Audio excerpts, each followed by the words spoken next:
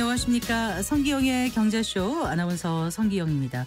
아, 다음 주 미국의 금리 인하가 예상되고 있고 또 11월 미국의 대통령 선거를 앞두고 아, 글로벌 금융시장의 장세가 변동성이 더욱 커질 것으로 예측되고 있는데요.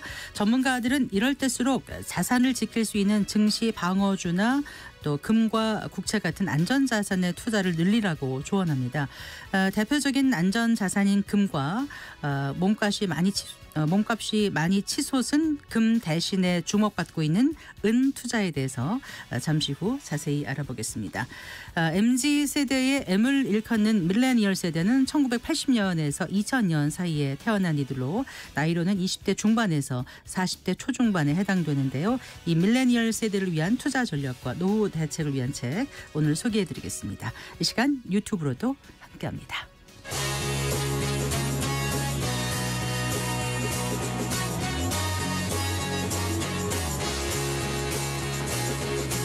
경제 시야를 넓혀드립니다. 투자의 지름길을 안내합니다. 돈 되는 정보를 발견하는 시간. KBS 1라디오 경제쇼.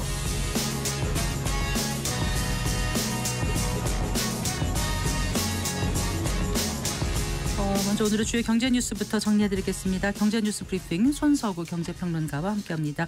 어, 어서 나오십시오. 네, 안녕하세요. 안녕하세요. 자, 외국인 투자자들 지난달 국내 주식을 대거 팔아치운 것으로 나타났다고요? 네. 어, 외국인 투자자들이 지난달에 국내 상장 주식 기준으로 2조 5천억 원 넘게 팔아치우면서 이제 10개월 만에 순매도로 전환을 했습니다. 네. 어, 금융감독원이 이제 8월 외국인 증권 투자 동향을 발표했는데 이걸 보면 어, 국내 상장 주식 2조 5,090억 원을 순매도 지난달에 했고요.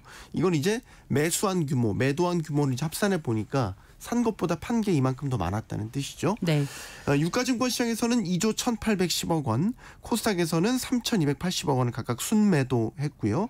지난달에 이제 기억하시겠지만 폭락 장세를 연출했던 Black Monday 그때를 기점으로 보면 이제 국내 증시가 이제 크게 회복되지 못하고 지속적으로 좀 하락세가 이어졌거든요. 네. 사실 이렇게 보면 외국인 투자자들이 주식을 좀 판 영향이 미쳤 영향이 미쳤다 이렇게 볼 수 있고요.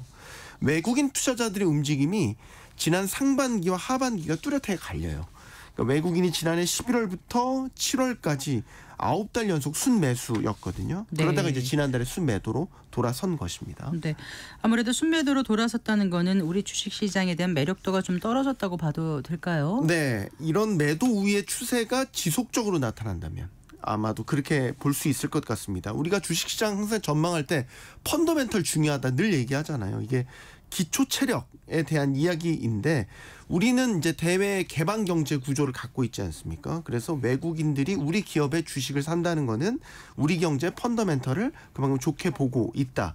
그렇게 평가하고 있다는 뜻이죠.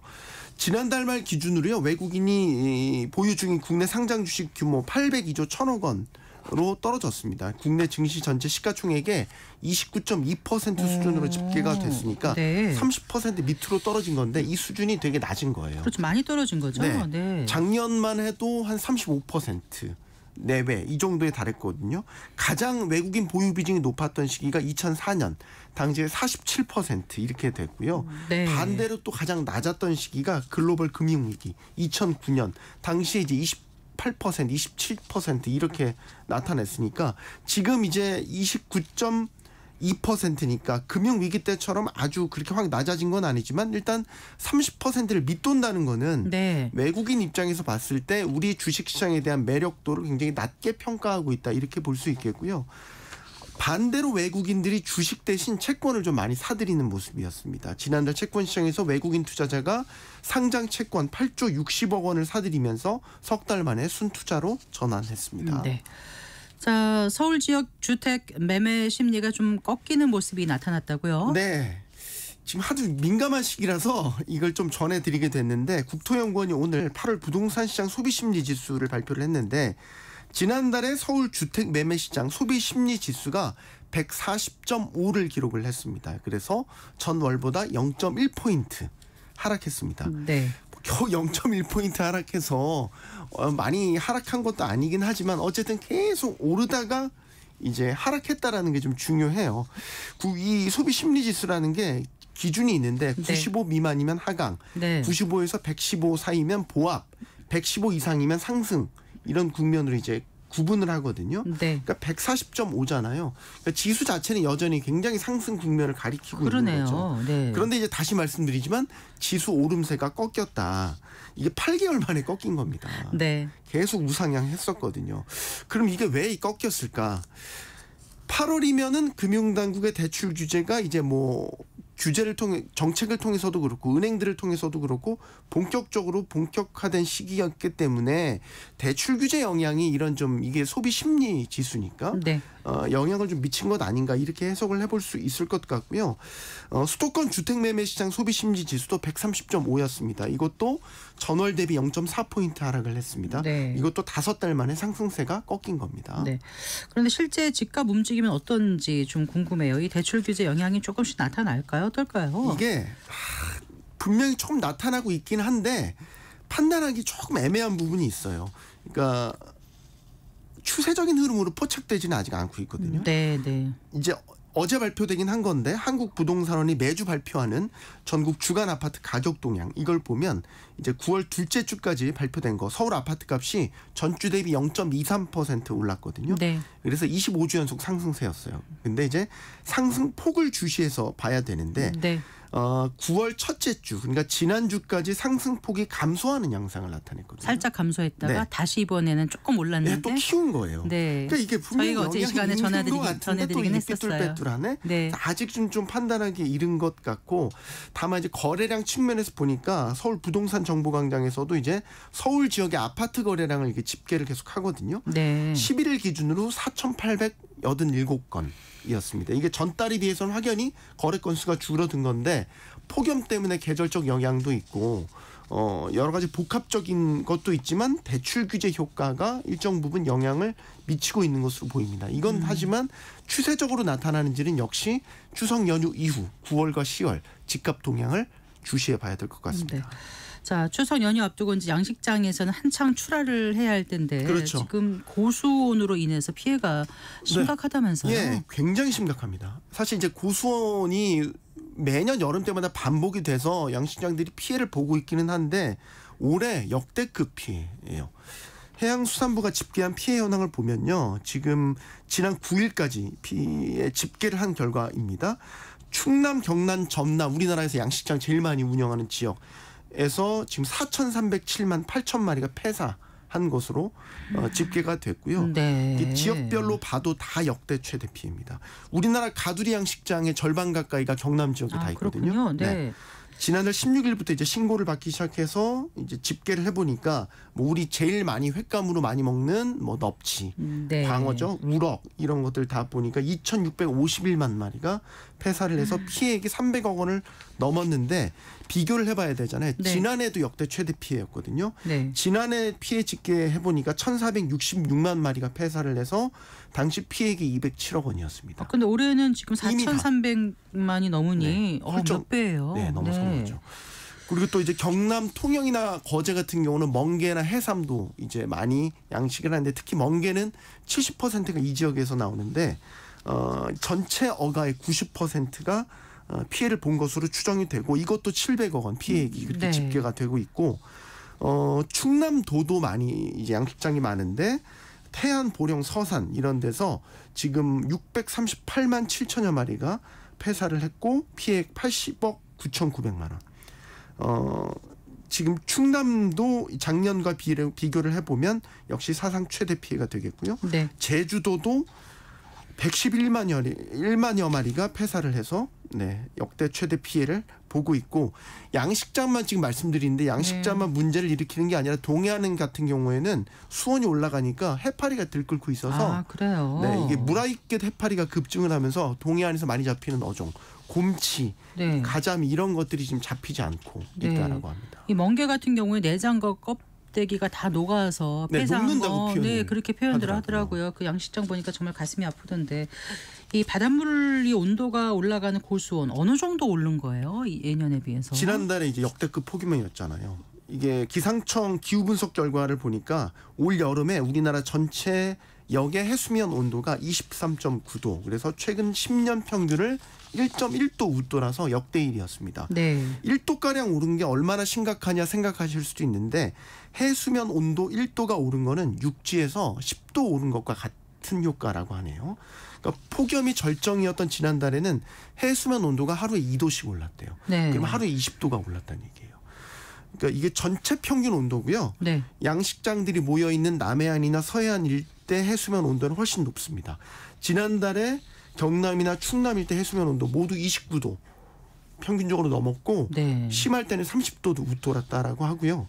이게 그 양식장의 어류나 어패류가 견딜 수 있는 온도가 일단 24도가 넘으면 생존율이 낮아지기 시작하는데 28도가 한계치. 아. 라고 합니다. 그래서 네. 28도가 지금 다 넘었으니까 예. 생존율이 다 10에서 20% 수준으로 다 이렇게 급격하게 떨어지고 해수부가 고수온 위기 경보를 지금 50일 넘게 발령하고 있는데 최근 심각 1단계로 격상이 됐고요. 참고로 심각 2단계가 최고 단계입니다. 음, 네.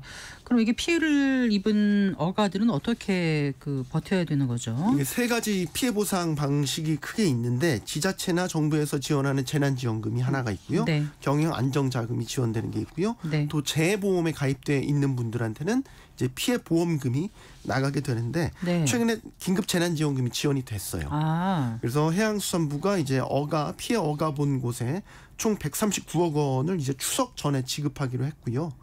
어, 양식 수산물 재보험에 가입한 어가는 어, 추정 보험금의 약 50%를 선지급 받을 수 있도록 조치를 또 취했는데 음, 네. 이런 피해 그 보상 규모를 다 합쳐도 턱없이 부족하다 이런 얘기가 나오고 있는 게 재난지원금 같은 경우는 그 한도가 있습니다. 5천만 원 한도고요. 피해액의 50%까지만 지원됩니다. 음, 네. 또 문제가 이런 양식 조합의 특성을 보면 가족이 전체 경영하는 데가 많아요.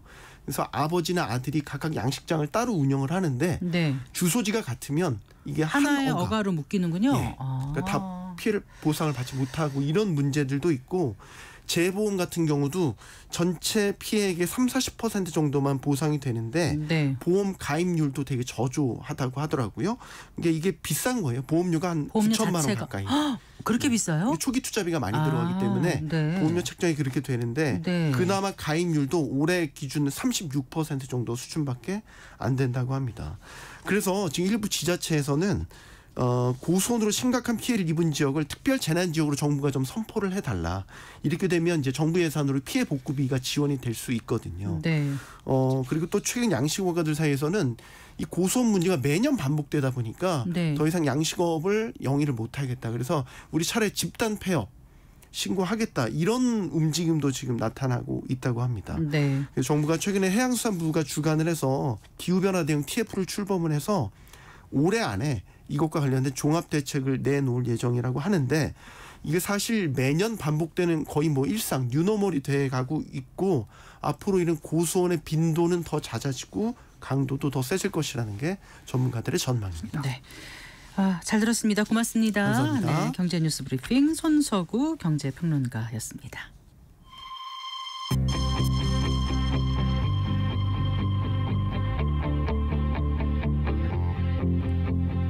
경제 전문가의 원포인트 레슨. 꼭 알아야 할 정보와 이슈를 알기 쉽게 풀어드립니다. 대한민국 경제 고수와 함께 투자의 맥을 짚는 KBS 일라디오 경제쇼. 진행의 성기영 아나운서입니다.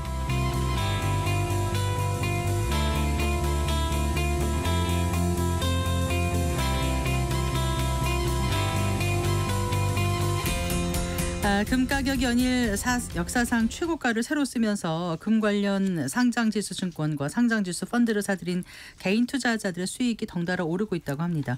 어, 과거와 달리 금 투자 방법이 점점 다양해지면서 금 투자에 대한 관심이 높아지고 있던데요.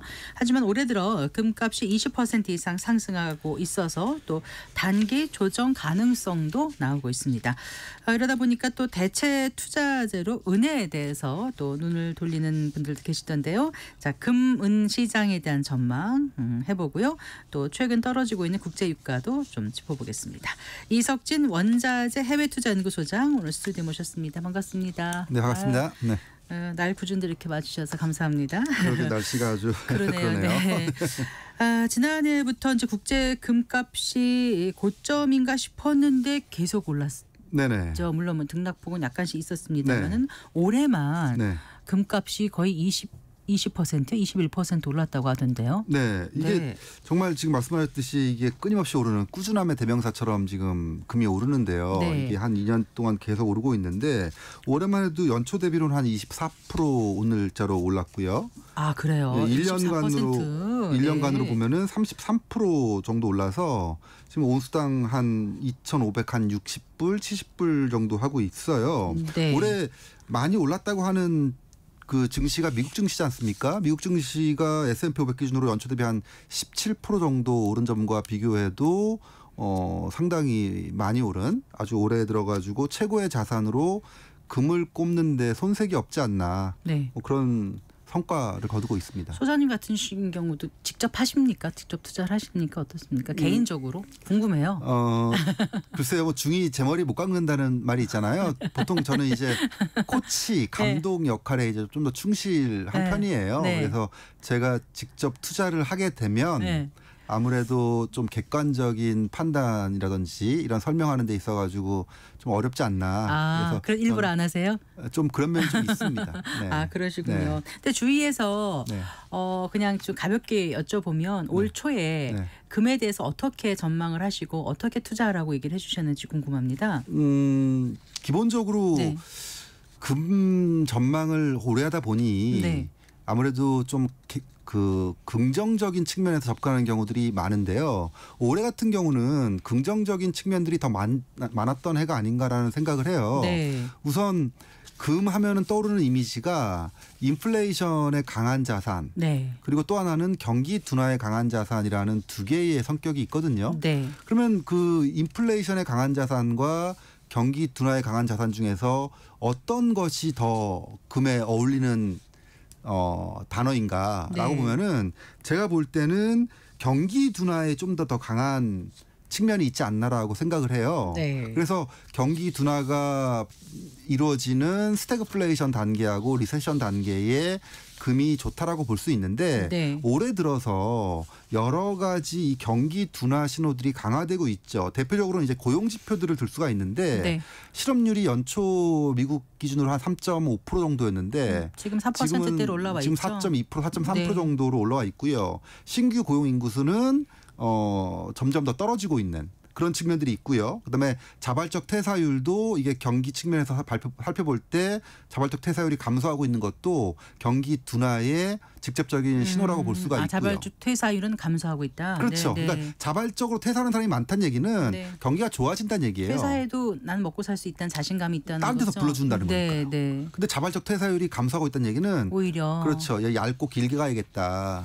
라는 사람들이 더 늘었다, 늘었다는 거고 네. 그 경기 둔화의 직접적인 신호라고 또 볼 수가 있는 거죠. 네. 그러다 보니까 최근에 이제 금리 인하에 대한 기대가 높, 높지 않습니까? 네. 금리 인하라는 것도 유동성이 증가한다라는 호재임과 동시에 경기가 둔화한다라는 또 악재라고 볼수 예, 있는 거거든요. 그렇죠. 네, 그래서 네. 어, 지금 상황에서 금 투자자들은 이 금리 인하조차도 경기가 나빠지는 하나의 악재로서 그러니까 금, 금 입장에서는 호재로 받아들이는 경향이 있다라는 거고요. 네. 어, 시중에 금리가 떨어지게 되면은 결국에 어, 우리가 안전자산으로서 금을 살까 아니면 예금에 어, 가입할까 고민하게 되는데 시중에 금리가 떨어진다라고 생각하면은 당연히 금이 더 유리해진다. 네. 이런 측면들도 어, 당연히 고려해야 될 부분이라고 봅니다. 네. 거기에 더해서 공급적인 측면에서도 네. 금 생산량은 지난 한 7년, 8년째 증가하고 있지 않아요. 그 얘기는 아무리 돈을 들여가지고 그 금 생산 기업들이 광산을 뚫고 있지만 네. 거기서 그 나오는 어떤 탐사? 대비 생산성이 네. 전혀 개선되고 있지 않기 때문에 금 생산 비용이 증가하는 측면 이거는 펀더멘탈하게 금 가격 자체를 올릴 수밖에 없는 겁니다. 음, 금은 주로 어디서 요즘 많이 생산이 되고 있는 거예요? 국가를 말씀하시는 거예요? 네, 네. 금은 뭐 모든 대륙에서 많이 나오긴 하는데요. 네. 과거에는 이제 남아공 뭐 이런 데가 유명했었고요. 최근에는 뭐 호주나 네. 중국이나 뭐 이런 국가에서도 금 생산이 꽤 많이 나오는 편인데 네. 이게 생산량의 어떤 그 증가율이 네. 거의 제로예요. 어. 어, 그러니까 결국에는 그 채굴 생산성이 있는 광산에 더 깊이 파야 되는데 네. 깊이 판다는 자체가 네, 비용을 증가시키는 요인이기 때문에 음, 네. 어, 금 생산 비용과 금값 상승이 어, 시- 순차적으로 이루어질 수밖에 없는 상황이에요. 생산이 지난- 덜 되면 아무래도 값이 오를 수밖에 없다는 말씀이신 그렇죠. 거죠. 네네. 네. 그 가치 저장 수단이라는 점에서 달러하고 금은 이제 경쟁 관계 있지 않습니까? 이제 맞습니다. 달러가 지금 이제 인하가 금리 인하가 되면 네. 아무래도 값이 떨어지면 그 네. 이제 경쟁 관계에 있는 금 쪽으로 당연히 몰릴 것 같다는 생각이 좀 들기도 하고요. 또 그 외에 그 이제 그 금값이 계속 강세를 보이는 이유를 또 어떤 걸 좀 찾아볼 수 있을까요? 그러니까 지금 수요적인 측면에서는 네. 경기 둔화가 가장 핵심적인 요인이라고 볼 수가 있고요. 향후에 소프트 랜딩보다는 하드 랜딩의 가능성이 높아진다라고 인식하게 되면은 음, 네. 당연히 금 수요가 증가하는 측면 글로벌 불확실성에 따라서 금수요가 증가하는 측면을 얘기할 수가 있는 거고 네. 공급 측면에서는 지금 계속 말씀드렸듯이 어, 생산량이 더 이상 증가하지 않는 측면 이런 것들이 어, 전반적인 금 투자자들의 금 사랑을 더 키우는 측면이 분명히 있는 것 같고요. 네. 거기에 더해서 지금 말씀하신 달러, 네. 달러가 약세로 가게 되면은 이 최후의 기축 통화로서 금의 가치가 또 올라가는 측면은 분명히 있죠. 근데 그 단계를 또 넘어가면은 네. 실제 경기 둔화나 침체가 심해지면은 네. 달러도 안전자산이기 때문에 네. 달러 가치도 올라갑니다. 음, 그러니까 사실 네. 어떻게 보면은 전형적인 경기 둔화나 침체가 왔다면은요. 네. 우리가 그걸 어떤 걸로 알아볼 수 있냐면은 금과 달러가 동반 강세를 보인다면 그거는 완연한 경기 침체다라고 음. 인식할 수 있을 거예요. 네. 그 중동과 러시아의 지정학적 불안이 고조되는 것, 또 미국 대선의 불확실성 이런 것도 금값 상승에 영향을 미친다고 보시죠? 아니요. 아니에요? 그거는 그다지 금값 상승의 직접적인 요인으로 볼 수 없는 게 네. 우리가 보통 불확실성이라는 단어를 자주 쓰는데 네. 이 불확실성과 글로벌 불확실성의 차이는 뭘까요? 제가 볼 때는 글로벌 불확실성은 미국의 직접적인 어떤 변화를 주는 그 불확실성이 글로벌 불확실성이에요. 네. 근데 지금 중동 쪽에 나타나는 거나 이 러시아나 우크라이나 전쟁 쪽에서의 불확실성은 네. 미국 금융시장에 직접적인 영향을 주는 부분들은 아니기 때문에 음. 글로벌 불확실성이라고 보기는 제가 볼 때는 2% 부족하다고 생각하고 있고요. 네. 어 어쨌든 간에 미국의 소비나 고용에 영향을 미치는 불확실성이 진짜 불확실성이에요. 네. 알겠습니다. 그래서 지금 가격이 그 1년간은 20 몇 퍼센트가 올랐다고요? 24%요. 그래서 올해 아, 1년간에 33%, 33% 연초 대비해서 24%. 연초 대비 24% 오늘까지 보신 건 네. 그렇다고 말씀하신 거고요. 근데 이제 금을 우리가 말할 때 국제 그, 금값. 그, 그 금값을 말할 때 온스당 이렇게 말하잖아요. 네. 온스가 사실 참 와닿지가 않아서 네. 네. 그런데다 또 트로이 온스라고 표현을 하기도 네. 하고 네. 기사를 보면 어떤 금값은 또 트로이 온스로 얘기하는 기사가 있고 은에 대해서는 또 온스당 이렇게 얘기를 해서 네. 이게 막 헷갈려가지고 네. 전문가시니까 나오시면 제가 한번 여쭤보려고 했었어요. 네. 그러니까 그 정확한 표현은 트로이 온스가 맞아요. 네. 그래서 트로이 온스가 그 온스당 네. 31.1몇 몇 몇 네. 그램입니다. 대충 31.1g. 그렇죠. 보통은 31.1g이라고 칭하는 거고. 네, 네. 어 그렇기 때문에 보통 우리가 그냥 트로이 온스를 줄여서 그냥 온스당이라고 얘기를 하는 거고요. 네. 그다음에 우리가 좋아하는 돈, 한돈. 한돈 예, 금 한돈은 3.75g. 3.75g. 이죠. 그래서 어, 이 두 개의 도량형만 알고 있으면 네. 그람당 이제 뭐 금값을 알 수가 있게 되는 거예요. 네. 그래서 보통 우리가 그 글로벌 기준은 표준은 온스당 얼마가 되는 얼- 몇 달러가 되는 거고요. 네. 국내에서는 돈당 또는 그람당으로 네. 거래가 많이 이루어지죠. 네. 근데 어 국제 표준으로 일단 알고 있는 게 중요하겠죠. 네. 그럼 우리가 흔히 보는 그 골드바 네. 저는 한 개도 가져본 적이 없는데 네. 골드바 하나가 무게가 어떻게 돼요? 그건 되게 다양하죠. 다양하지만 어떤- 보통 이렇게 네. 금고에 쫙 써놓고 뉴스에 딱 1kg. 나오는 거 1kg죠. 네, 1kg 그럼 짜리. 1kg이면 35.5 트로이 온스인가요? 잘 모르겠어요. 이게 헷갈리. 1kg를 31.1g으로 나누면 31. 네, 네. 계산이 되죠. 네. 예, 그러면 몇 온스인지 나오죠. 음. 1kg가 네. 몇, 몇 온스인지. 제가 지금 네. 계산기가 없어가지고 정확히 어. 말씀드릴 수 없는데 네. 키로를 키로가 1000g이니까 네. 1000g 나누기 31.1g 하면은 음. 대충 뭐30몇 온스가 되는 거죠. 네. 네. 예. 예, 그렇습니다. 네. 그런데 이제 중앙은행에서 금 현물로 거래하는 그 사용하는 표준 골드바는 훨씬 크더라고요. 그거는 또한 11.3kg에서 뭐 400온스라고 하는데 어쨌든 네네. 간에 네. 이제 그 가격 단위가 이전보다 확 올라가지고 네. 그 전에는 억 미만이었는데 이제 억 이상으로 올랐다고 하더라고요. 네네. 지금 그러니까 1kg에. 이게 뭐 여담이긴 한데 네. 한 12년 전쯤에 제가 그 한국은행 가서 금 세미나 같은 걸 한 적이 있었는데 네. 그 당시에 금값이 이제 온스당 뭐 한 1,500달러, 1,600달러 정도 했었거든요. 네. 네. 근데 그때도 이미 많이 올랐을 올랐던 때야 그 당시만 하더라도 그래서 한국은행이 금값이 너무 비싸다고 해가지고 네. 어, 추가적으로 이제 금 매입하지 않겠다라고 한 지가 한 10년 됐습니다. 네, 네. 그러니까 그, 그 얘기는 10년 동안 우리나라 주, 한국은행은 금을 전혀 안 샀어요. 그 당시에 104kg 정도, 104kg 정도, 어, 104톤 정도 음, 한국은행이 네. 갖고 있었는데 네. 지금도 그대로 보유량이 늘지는 않고 네네, 있어요. 네. 네. 어제 그땐 1,500원 1,500 달러, 1,600달러 1,600달러 정도. 지금 2,500 그렇죠. 2,500, 한 50, 60달러 정도니까요. 네. 네. 그러니 정말 예, 근데 은행 한국은행은 외환 외환 보유고의 다변화라는 입장에서 네. 금을 갖고 있는 건데요. 네. 그러니까 그런 입장에서 생각한다면은 금값이 자본 차익을 주는 수단으로서 생각할 필요는 없어요. 네. 그래서 오히려 제가 볼 때는 그 당시에 이제 금값이 너무 올랐다고 해가지고 네. 더- 더 이상 자본 차익을 올릴 수 없다라는 측면에서 이제 금을 안 샀던 건데. 중국은 많이 샀다면서요. 네. 그렇죠. 중국은. 꽤 많이 샀죠. 올해는 작년- 조금 좀 주춤해졌다고 하긴 뭐, 하지만 그렇죠. 뭐 네. 지난 3개월 동안 5월부터 7월까지 뭐 이제 금 수입 제한을 걸었었는데 네. 최근 다, 다시 이제 재개했다고 하고요. 어. 금이 보- 뭐 중국이 보통 금 수입을 제한할 때는 위안화가 좀 약세를 보일 때 네. 그런 조치를 인민은행이 취하긴 합니다. 네. 근데 뭐 지속적으로 그러는 건 아니고요. 다시 지금 재개된 상태고 어 지난 2년 동안 중앙은행들이 금 매입을 이- 연간 천 톤 이상 했는데 네. 그 중에서 중국이 가장 많이 한 그래서 중국이 이제 좀. 덜 사니까 금값이 계속 오르는 게 아니라 좀 떨어지지 않을까? 이제 어느 정도 단기 고점을 형성한 게 아닐까 싶어서 제가 중국 얘기를 꺼냈던 거고요. 네. 어, 근데 그게 네. 뭐 어떻게 다시 보면 해제됐다니까 그렇- 다시 또 그렇죠. 네. 그게 뭐 민간의 투자 수요나 아니면 실물 수요가 감소해서 그런 게 아니라 음. 어떤 인민은행의 어떤 목적에 의해서 일시적으로 제한된 거라고 보기 때문에 네. 그게 뭐 금값을 떨어뜨리는 요인으로 보기는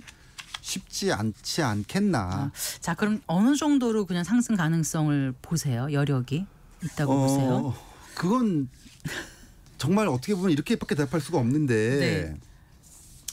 하드랜딩으로 갈 것이냐 소프트랜딩으로 갈 것이냐가 핵심이에요. 네. 그러니까 하드랜딩으로 간다면 금값은 더 추가로 상승할 여지가 크고요.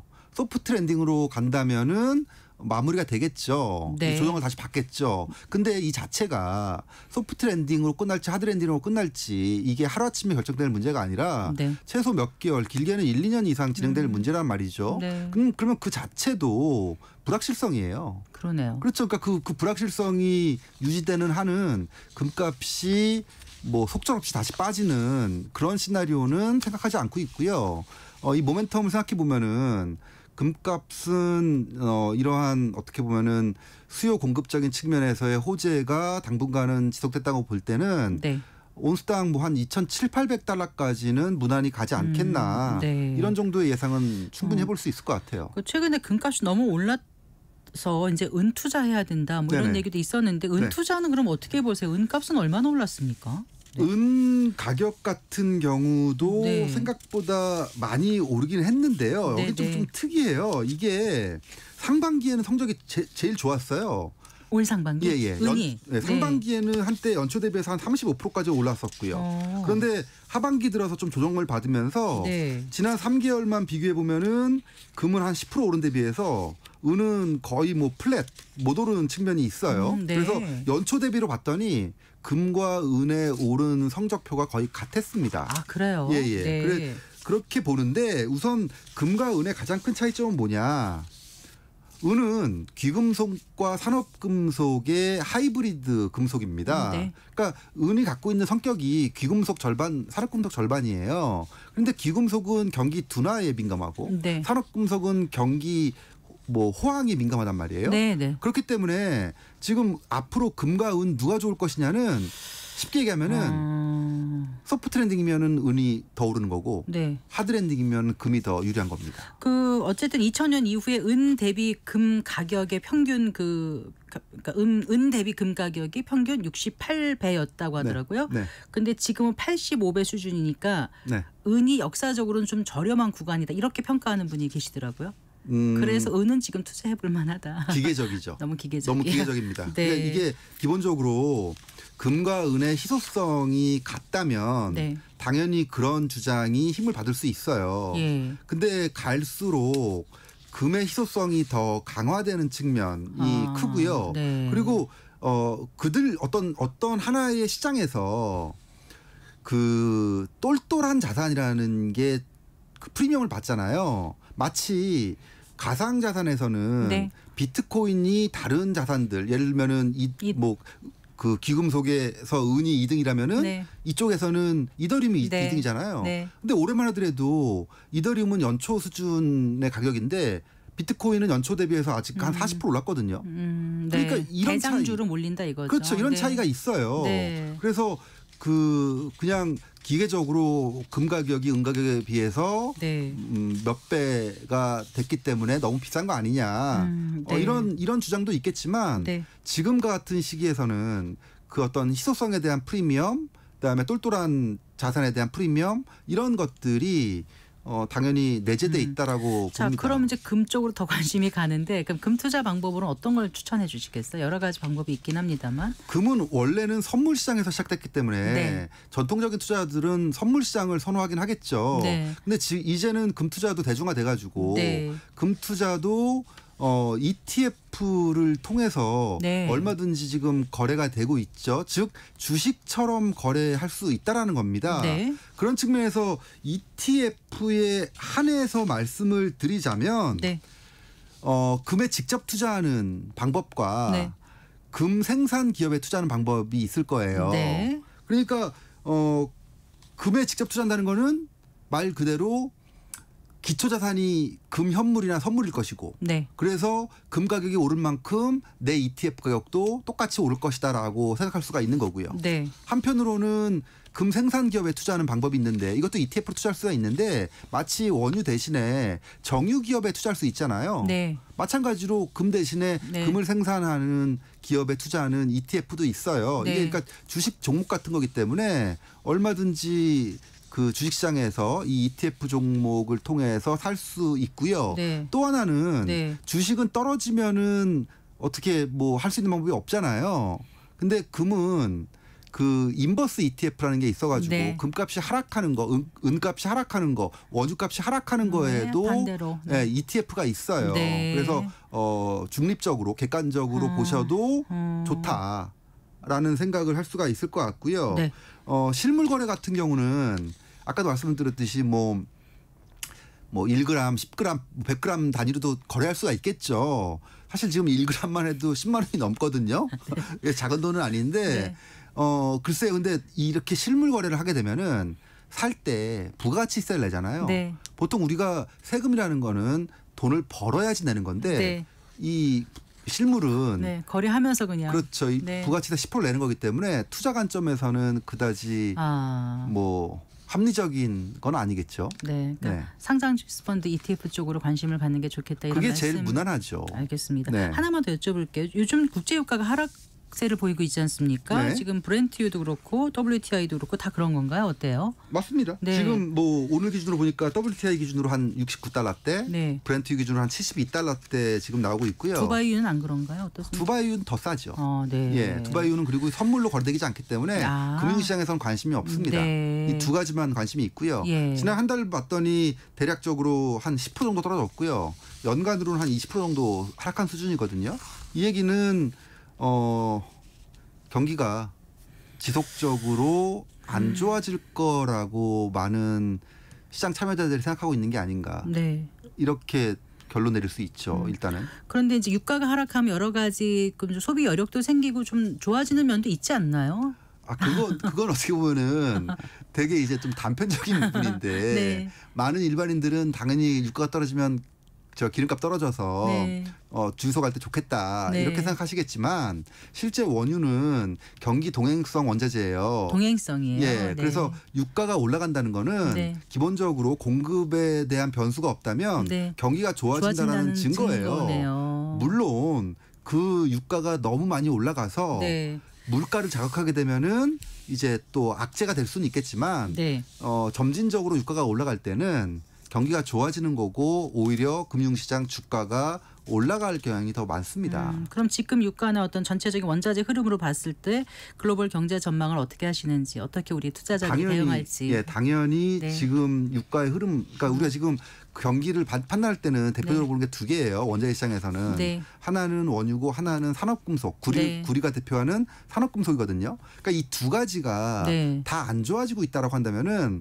경기 둔화로 볼 수밖에 없는 아주 음. 강력한 증거라고 볼 수가 있, 있고요. 네. 근데 지금 현재 유가는 많이 떨어지고 있고 산업금속은 좀 정체되고 있거든요. 네. 만약에 이 산업금속까지 금속까지 떨어진다면 아, 경기가 완연하게 어. 둔화되고 네. 있구나라고 이제 짐작을 해야 될 수밖에 없을 겁니다. 네. 그래서 현재로서는 유가가 이렇게 점진적으로 떨어진다는 얘기는 네.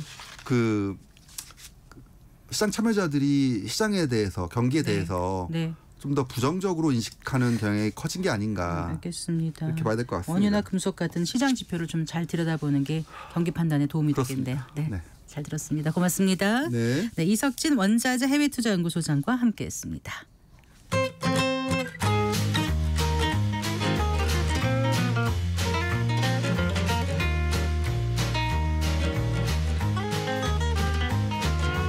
경제 맛집 투자 핫플 지금은 돈 벌기 딱 좋은 시간 KBS 일라디오 경제쇼 어,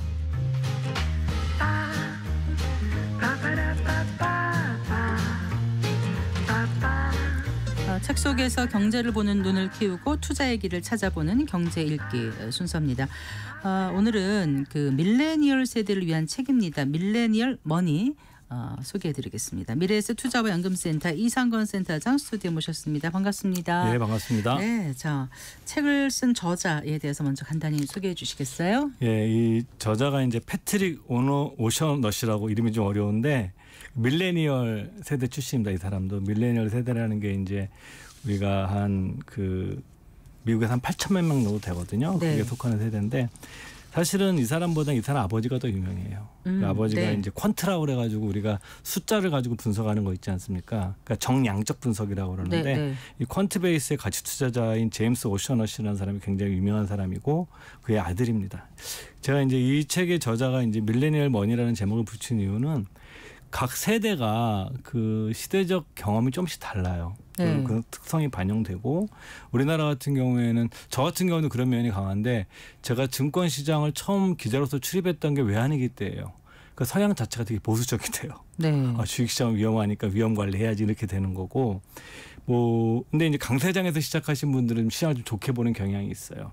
미국의 밀레니얼 세대라는 사람들이 왜 이런 얘기가 되냐면 밀레니얼 세대들이 2008년도 금융 위기 때 이들이 지금 경험을 경험했던 세대들이 젊어서 네, 네. 그런데 그때는 이제 뭐 취업도 잘 안 되고 뭐 일자리의 질도 낮고 그다음에 주식은 다 깨지고 뭐 이랬던 사람들이기 때문에 그래서 이 저자가 얘기하는 거는 그 이 사람들 같은 경우 좀 위험 자산에 대해서 주식 같은 위험 자산에 좀 거부감이 강하다. 그럴 필요가 없다라고 이 책을 쓴 거고요. 네. 또 하나는 그 미국의 이제 소득 정책에 태어난 세대라고 얘기를 합니다. 우리나라도 좀 비슷할 거예요. 이게 왜냐하면 1974년도부터 2011년 11년도까지의 데이터가 나오는데 이 책에 미국 인 대다수의 소득 증가율은 3.2%밖에 안 됐어요. 아. 그러니까 사실은 이게 이 정도면 물가 상승률도 못 따라간 거예요, 사실은. 네. 근데 상위 1%의 소득 증가율은 154%였습니다. 아, 지금 우리나라도. 우리나라도 좀 비슷할 거예요, 이게. 그러면 이들이 이제 경제적 부의 사다리를 올라가야 되거든요. 네. 그래서 이 저자가 얘기하는 거는 이 주식 시장이 미국 얘기지만 네. 계층의 사다리 역할을 해야 된다. 음. 그래서 밀레니얼 세대들이 투자를 어떻게 접근해야 되고 어떻게 바라봐야 되느냐라는 네. 컨셉을 가지고 쓴 책인데 네. 국내는 한 7년 전에 나왔는데 제가 다시 읽으면서 방송을 소개하려고 지금은 읽어보니까 지금이 더 맞아요. 어, 어 그래요? 네, 2017년도에 나왔던 책인데 지금이 읽으면 전더 어, 현재처럼 읽었어요 이 책 자체. 네, 예. 그렇군요. 이책 어, 그 표지에 예. 젊음이 엣지다? 예. 라는 표현이 나옵니까? 예, 네, 나옵니다. 제가 아직 책을 못 읽어봐가지고요. 예. 그만큼 음, 그래서 젊무 젊다는 거는 그만큼 오랫동안 장기 투자를 할 수 있다. 뭐 그런 의미로 예, 본 걸까요? 맞습니다. 네. 그래서 자기 어린 시절의 경험을 얘기를 해요. 우리도 아. 얘기하면 초등학교 1학년 때쯤인데 네. 아버지가 유명한 투자가니까 아버지가 체스 발명가와 황제의 이야기를 들려줬답니다. 음. 퀴즈를 낸 거죠. 네네. 그 체스 발명가는 황제에게 체스라는 새로운 게임을 소개했고 그 게임에 감탄한 황제는 그 체스 발명가에게 무슨 소원이든 들어주겠다. 네. 내가 재미난 게임을 만들어 줬으니까. 네. 그런데 이제 여기서 그 체스 발명가가 그 선물을 그 황제에게 이렇게 얘기를 합니다. 그러니까 뭐냐면은 어떻게 해달라고 그러냐면 체스판 첫 번째 칸에 쌀 한 톨, 두 번째 칸에 쌀 두 톨, 음. 그 다음에 세 번째 칸엔 쌀 네 톨, 네. 그 다음엔 그 여덟 톨, 네, 네. 열여덟 톨 했는데 그러면 총 체스 칸이 64칸이 돼요. 네. 64칸인데 네.